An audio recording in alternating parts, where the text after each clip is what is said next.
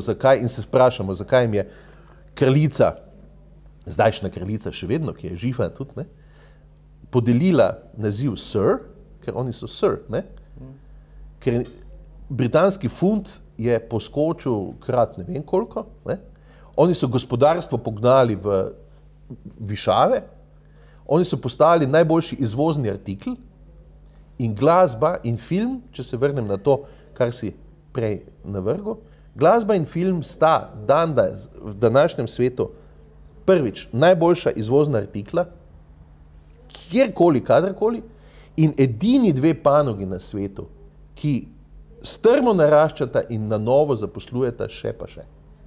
To sta dve panogi v, rečemo, v porastu. Zdaj pa zakaj? Tu je, po mojem, ne vzdržijo ljudje, da bi jaz še to razlagal, ampak eh, lahko mi verjameš, da je to, da sta te dve panogi v porastu na eni strani super dobro za panogo, za eno in drugo, po drugi strani pa za družbo, društvo, je pa pravzaprav lahko zelo hitro pogumno. Je treba zelo pamet vzeti v roke in reči, že že glasba, vendar, že že film, ampak.